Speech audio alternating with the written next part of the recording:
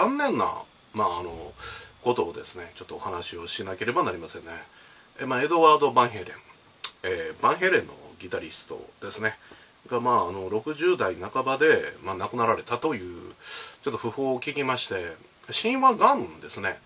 えっ、ー、となんか2000年ぐらいだかな。になんか喉頭がんが見つかったっていういや下の方やったっけ。まああのということだったんでまあおそらくがんがまあ転移してたんじゃないかなって。まあ死因的にはそうらしいですね。でまああの息子さんの方がまあ今そのバンヘレンのベーシストやっててその息子の方からの、まあ、情報で亡くなったっていうのが伝わったらしいんですけどもあの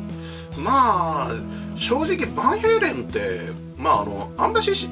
あのですねあの知ってる人はですね本当にすごいギタリストってまあみんな分かってるんですけどもまあ今時のまああのロック知らない人とかやったらえ誰とか思うかもしれませんけどバンヘレンっていう人は、えっと、80年代ぐらいに、まあ、活躍した80年代のまあ初めうんですね。大体80年代初頭ぐらいのイメージのあるギタリストですね。80年代のに活躍したバンヘレンのギタリストです。でもあの兄弟であのバンドに在籍してましてエディの方がまああの最初ドラム始めたんですよね。兄のアレックスですね。そうです。えー、っとアレックス・バン・ヘイレンの方が、えー、最初はギターを始めたのは兄のアレックス。エディがドラムを始めてたと。でまああのアレックスの方が上手かったんでドラム上手かったんでまあエディの方がギターやるよいう話してお互いの楽器を交換したっていうエピソードがあります。でもう一つですねあのまあ強烈やったのはえーまあ、彼が一番代名詞としてたのはそのライトハンドっていうまああの奏法なんですけど、まあ、簡単に言ったらですね、まあ、こんな感じでタッピングを右手で行うっていうね。っていう行うっていう形のですねあの奏法を確立した人です。ギターにおける奏法っていうのはあの1960年代後半に、えーと、ジミ・ヘンドリックスがですねあの出てからですねもうフィードバックまでありとあらゆる奏法をもう開発し尽くしたと思ったところにまああのライトハンドというね新しい奏法を引っ提げて出てきたと。もうこの段階でこの人相当すごいんですけどもというのもねピッキングハーモニックスはあいや50年代後半か。えっ、ー、とこちらはロイ・ブキャナンが開発偶然開発したと言われてるんですよ。そして、えー、フィードバックとかのまああのそういった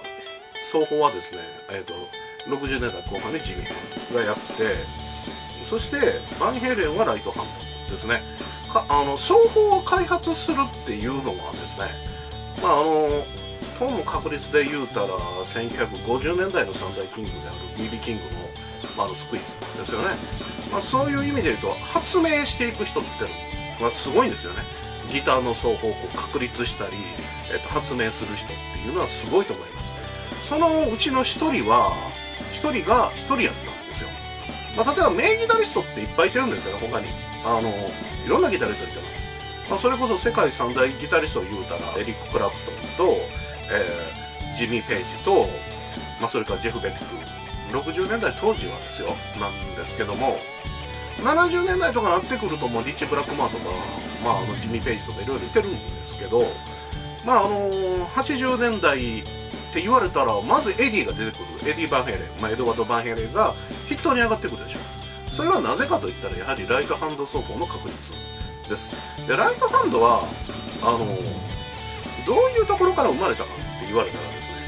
耳コピー失敗してあの偶然できた。んだということなんですよね。で、えー、まああのこの人あの好きなのがエリック・クラプトンとかリッチー・ブラックマンアラン・ホールワーズって言ってるんですよね。でまあ確かに、うん、言われてみたら好きそうやなっていうのがよくわかるんですよね。でまああのただねあのこの人ピアノもできるんでピアノの発想からライトハンド来てんちゃうかなと思うんですよ。あのつまりピアノって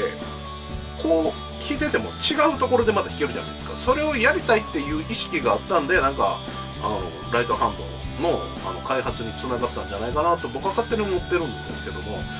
まああのとにかく本当に偉大なあのアーティストです。ただねこの人のことをロック名盤解説で取り上げなかった理由があるんですよ個人的に。それは何でかというと、まあ、あのテクニカル系のギタリストが80年代にすごく出てきたんですよねバン・ヘイレンの以降。で、まあ、例えばそのポール・ギルバートであったりとかイングヴェイ・マルムスティーンだったりとかスティーブ・ヴァイとかですね。まああの本当にこの辺りの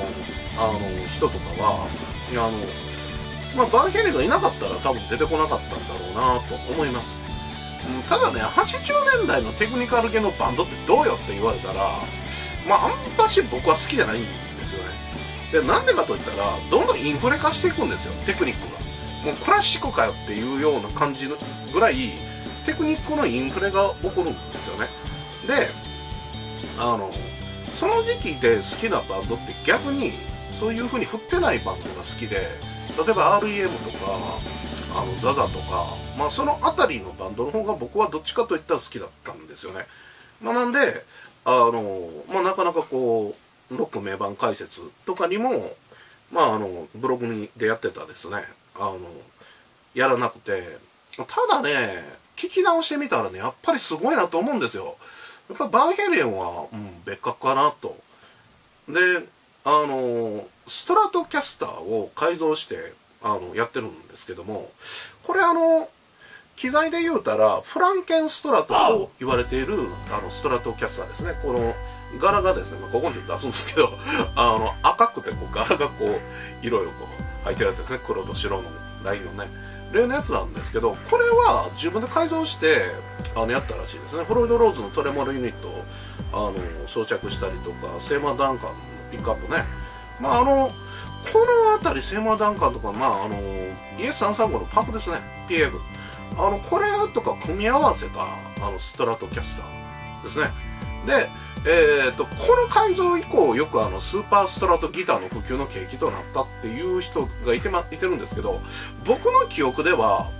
えっ、ー、とね、まあ、ザ・バンドのロビー・ロバートソンも同じようにフロイド・ローズの改あの改造してたんちゃうかなと思いますね。フロイド・ローズつけたギターギターっていうのはこの後結構ですねあの普及するんですよ。その影響はもちろんあのエディ・バン・ヘイレンだったんじゃないかなと思います。でもあの個人的にはそうですねあのイメージ的にですよ。あのやっぱりこのギターのイメージが、まあ、強くて、まあ、その後ちょっとスタインバーガーとか、えー、っとミュージックマンの、えー、っとギターとかですね。まああのいろいろ使ってたんですけどもうやっぱりこのフランケンストラトじゃないかなと思います。作曲者としても素晴らしいっていう点について、まあ、ちょっとあの語ろうかなと思います。えー、まあ6枚目のアルバムはあの1984ですね。あのこちらが、えー、に入ってた収録されたのが、えっ、ー、と、ジャンプ。まああのそのジャンプをあの入れてるアルバムが6枚目なんですよ。まああのファーストアルバムは、えっと、1978年ですね。こちらがあの、まあ、現代はそのままセルフタイトルでバンヘイレンなんですけども。で、えー、まあ、そっからですね、まあ、数えて6枚目がですねまああの1984年なんでほぼコンスタントに、まあ、1年ごとにアルバムを作ってる。まあ、そして、えっと、サミー・ヘイガー時代ですね。もうボーカリストが変わってですね。あのデビッド・リー・ロスが脱退した後のまあえっとサミー・ヘイガーの時代なんですけどもこちらは、えっと、5150リリースしてますね。1986年ですね、まあ、2年後なんですけど。でまあこの5150っていうのは、まあ、実はですねあのエディ・バンヘレンが、えっと、PB の5150あのこれをの名名が付くきっかけだった、えー、やつで、まあ、自分のそのシグネチャーモデルのアンプに5150って名付けたんですよ。だから PB のあの5150は実は元はそのエディ・バンヘレンのシグネチャーっていう意味合いが強かったんですよね。はい。あのー、まあ、5150のその元の言葉はあんまりこれはあの いあんましまああのいいことじゃないんですけど精神疾患のあのコードらしいんですよね、まあ、それを模したあの自身のそのアンプまでも、まあ、あの出されてるっていう点がやっぱりすごいなと思いますね。で、えーまあ、これは機材のことについてなんですけど PB 僕もちょっとあの弾いたこと結構あってですね。5150言うたら、まあよく歪むっていうイメージがやっぱありますね。あのなんかやっぱりよく歪むなこのアンプっていうのが、まあ、僕の感想でして、まあ、エディってやっぱりねあのエディのトーンだなって思いますね。うん。5150ですね。はい。90年代ぐらいのスタジオではですね、うん、結構あの置いてるところありましたよ。で割とね安いんですよ。あの550って他のマーシャルとかそのメサブギーとかに比べるとまあなんとなくこう、うん、安めかなっていうのがあるんですよね。えー、まあアメリカンなイメージあったんでアメリカのねあのアンプってフェンダーもそうなんですけどあのパワー管に 6L6 使ってることが多いんですよ。で、えーとまあ、例えばマーシャルなんかだったら EL34 なんですけどもこれはまたちょっと歪み方が変わってくるんですよ。で 6L6 使ってるやつって、まあ、メサブギーのもそのマークシリーズとかもそうなんですけど、まあ、基本的にカラッとしてるんですよね。明るめに歪む、うん、っていうイメージがあります。なんで、えっと、マーシャルの歪み方とはまた違う歪み方するんですよ。だ PB も、まあ、ご多分に漏れずに、まあ、そんな感じやったと思うんですけども、まあ、だいぶ昔にいいなんでもう忘れちゃいましたけどね。僕は、えっと、アンペグのヘッド使ってたりとかしてたんでまあ、あのギターアンプがあって、まあ、そちらの方を、まあ、あの使ってましたね。当時、えーと、90年代ぐらいですかね。で、えー、その後にあのメサブギーのマーク1をですね購入して使ってたりとかしてたんでマーク1 2種の SOB ですね。こちら使ってたんで、まあ、6L6 やっぱり好きなんですよ。PB も、まあ、ご多分に漏れず自分の好みですね。いっぺんに本当に買おうかなと思ったことがあってコンボがあるんでね。うん。まあと思ってました。まあ、つまりあのバンヘレンのトーン嫌いじゃないんですよねやっぱり。まあそんな感じでですねちょっと今日はあのまあ緊急にですねあのバンヘレンの、まあ、特集っていうかあの亡くなられたので、まあ、そのことに対するちょっとあの特集をやってみたんですけどもうんまあなんて言ったらいいんかなやっぱりこう80年代のミュージシャンとかももう年ですね。65歳って聞いたらああそうかって思いますよ。であの一番そのロックのいい時期っていうのは、まあ、間違いなくですよあの1960年代やったと思います。まああの50年代がそのロック黎明期としたら、まあ、60年代がそれを爆発的に進化させて発展させで70年代でその流れを受け継いでったんですけどもでそこから80年代になってくるとちょっと産業化してくる。であの90年代になってくるとそのリバイバルの形で、まあ、あの60年代の雰囲気を持つあのイギリスのガレージバンドがいっぱい出てきたりとかしたんですけども、まあ、あのブリットポップとか言われてるんですけどでもねあのやっぱりねあのグランジとか出始めたもう90年代ぐらいあたりから徐々にそのロックはですね、まあ、その後出てきたそのポストロックだとか、まあ、そうですね、まあ、デジロックですね、あのー、に、まあ、徐々にそのシェアを奪われていく形つまりロックの黄金期っていうのはやっぱりその90年代あたりまでだと思うんですよね。黄金期っていうかまあその一番流行っていたうん。なんでその中のちょうど真ん中ぐらいの80年代前半においてまあ新しい奏法を確立しまあいろんなミュージシャンに影響を与えたという意味合いにおいてやはりエディ・バンヘルの大ギタリストだったと思います。知ってる人減ってきてんちゃうかなっていうのは正直ありますね、まあ、例えば平成生まれでも、まあ、日本で言うたらですよ。1990年ぐらいまでに90年代に生まれているあの今で言うたらちょうど30代ぐらいの、うん、人ら2720代後半から大体30代ぐらいの人たち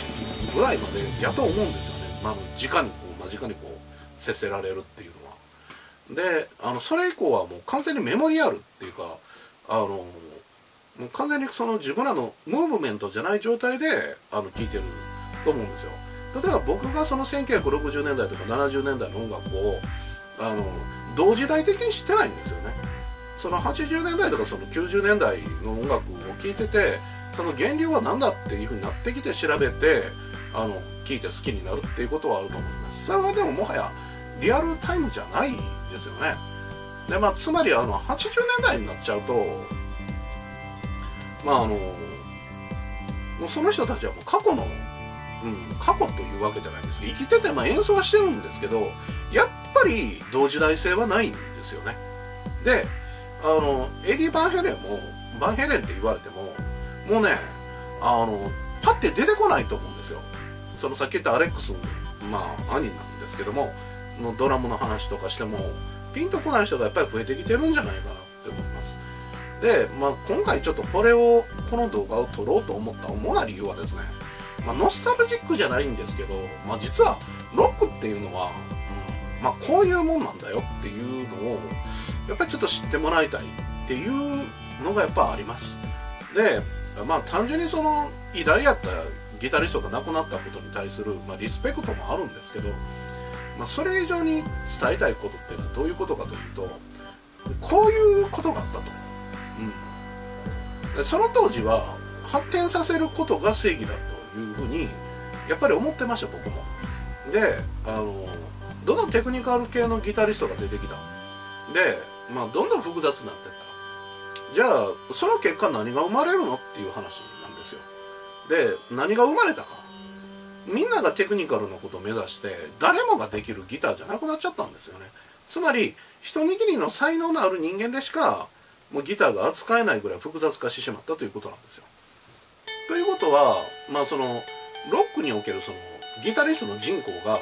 減ってしまうんですよねそうなってくると。もうこんなん見れたら俺もでけへんわっていうふうになってくるんですよ。もうそこまで行き着いちゃったと。それが80年代の特徴です。であの70年代とか60年代とかはまだあのペンタトニックスケール覚えたらある程度リード弾けるっていうあれがあったんですけど80年代になったらもうその流れはもう完全に途絶しちゃっていろんなスケールを覚えなきゃもうやってかれへんっていうことがありました。で僕も90年代とかで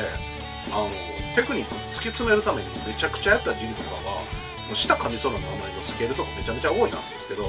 でもね結局いらないんですよねそんな複雑なことって。うん。でまあその流れを作ったのはやっぱりそのエディ・コだったんじゃないかなって、まあ、今にして思えば思います。だから偉大なギタリストであると同時にそのロックの持っているあの可能性をですねあの一つの可能性を突き詰めることによってうんちょっと窓口をちょっとねあの減らしてしまったんじゃないかなっていう思いは、うん、どっかにやっぱりあったんでしょうね。だからエディ・バンヘレンのことを意識しつつもエディ・バンヘレン自体のことをちょっと解説するのがためらわれて、まあ、結局亡くなった後にようやく解説したって感じになってしまいました。なのでまあ、うん、どうもねこう個人的にはちょっと釈然としない形ではありますね。つまり、えーと、80年代におけるそのエディ・バンヘレンの功罪とは何かっていうことを正面から突き詰めることなく解説してると思うんですよ。でまあこれはもう亡くなった後になってしまったんでこれはもうあの仕方がないことだと思ってます。でまあ今の若いギタリストとかにとってはですねまああのおそらく同時代設定のがない人なんで、まあ、ところが彼が作ったそのライトハンド奏法っていうのはですね、まあ、これからも残り続けますしその奏法を開発したっていうことは、まあ、実はそのギターの世界においてはですねとても偉大なことなんですよ。あの特にロックのフォロワーに言いたいのはギターにおける奏法の開発っていうのは本当にやった人って希少なんですよね。さっき言ったロイ・ブキャナンしかり、えーと、ジミ・ヘンドリックスしかりそれからエディ・バンヘレンしかり思いつくその奏法の開発特にそのあの新しい奏法の開発をした人っていうのは本当に数えるほどしかないんですよね。まあその中の一人が、まあ、60代半ばという形で、まあ、亡くなられたっていうことは、まあ、そのレジェンドがい,、まあ、いなくなってしまったということは他ならない。つまりやっぱりあのロックの時代のあのギタリストとかロックの時代の音楽っていうのはどんどん記憶から薄れていく時期に入ってきたんじゃないかなって僕は思ってます。あの何のかんの言うてももはや時代はですねロック中心じゃないんですよ。誰がどう見たって。じゃあそのそのロックじゃない時代になってきた時にまあその過去の偉大なミュージシャンはもうすでに亡くなってていなくなってるってケースが増えてくるんじゃないかなと思いますこれからの時代は。これが半世紀過ぎたらその文化があの歴史的なスパンで見たらですよ。それが旬でなくなるといった一番の原因です。つまりあの今生きている人がいなくなってしまうっていうことはそれだけ大きいんですよね。どんな文化においても。同時代性という意味においては、まあ、例えば僕があの文学なんかもよく読むんですけどももう今更その明治時代のね文豪とか大正時代の文豪とか言われても生きてないでしょ。生きてないんですよ。つまりはその時代を生きるっていうことの重要性っていうのはその当時あった文化とかあの時代にあった出来事とかそういうものを一緒に歩んでいく感覚の人がどんどんなくなっていくということになるんですよ、まあ、だからつまりそのエディ・バンヘレンが亡くなったっていうのは80年代のミュージシャンも徐々にいなくなっていくということを認識させられた出来事ですね、まあ、このことはやっぱりちょっと大きくてまあ正直言ってちょっとその辺がまだショックでまあうまくまとめられてませんね。まあ今回はだからそのエディ・バンヘレンもやってきた業績とか功績とかに関してちょっと焦点を当てて話して彼のプライベートなこととか例えばその時代性について深く掘り下げることはないんですけど、まあ、ちょっとその触りをやりました。で、まあ、僕がそのバンヘレンに抱いている複雑な胸中みたいなのも含めて、うん、やっぱり向き合わなければならないミュージシャンの一人やったんじゃないかなと、まあ、今にして思います。まあというわけで今回の武田ロックチャンネルはですね、えーまあ、エリー・バンヘレンのあのお話になりました、まあ、ちょっと残念ながらあの不法という形でこういう形になりました。まあ音楽のことをちょっとやってるんでまあこのチャンネルが良かったなと思ったら登録ぜひ登録してください。そして、えー、この動画が良かったなと思ったらいいねボタン、えー、Twitter などもやってます。武田ロックで検索してください。武田ロックでした。